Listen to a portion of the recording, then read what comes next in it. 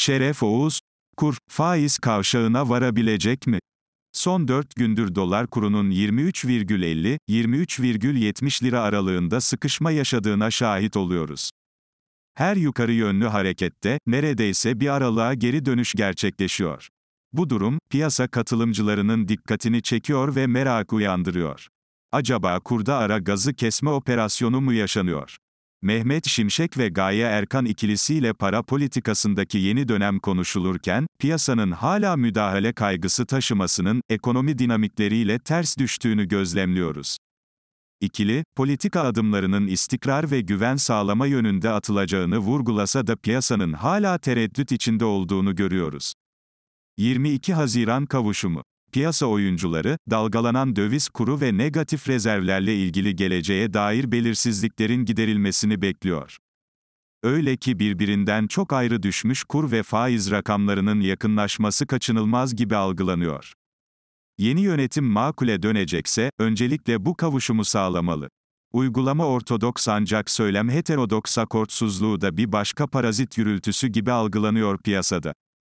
Şimşek'in ilk beyanatı, rasyonele dönüş kaçınılmaz iken siyasetin civar söylemleri, bildiğim bildik tonunda. Bu da, acaba Şimşek'e fren mi var? Kuşkusu doğuruyor. İki soru iki cevap. Faiz kararında sözlü yönlendirme neden önemli? Günlerdir para politikasında iletişimin önemini anlatıyoruz. Faiz kararına kadar sözlü yönlendirme yapılarak kur stresi azaltılabilirdi. Kaldı ki sözel yönlendirme, güven sermayesi aktarılmış yeni ekonomi yönetiminin elini rahatlatırdı. Belki de faiz artırımında 5-10 puanın yerine dahi geçebilirdi. Piyasa hangi dinamiğe bakıyor?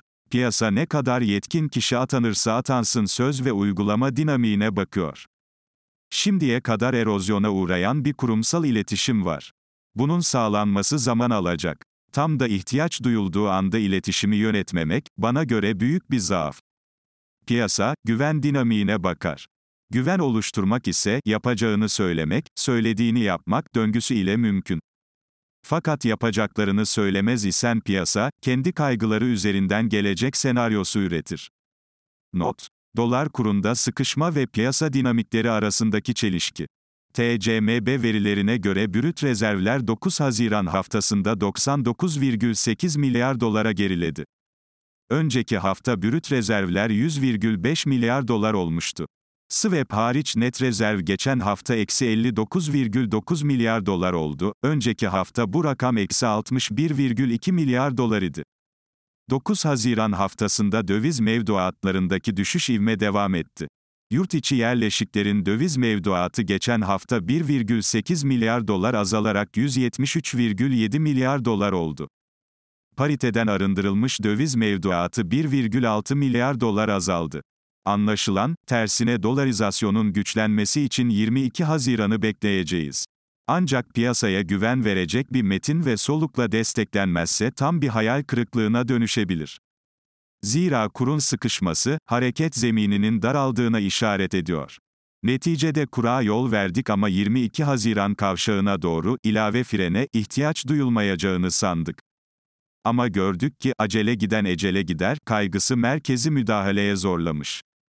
Önümüzde 22 Haziran faiz kavşağına bir hafta var. Umalım ki bir gece yarısı önden yüklemeli faiz kararı gelmesin.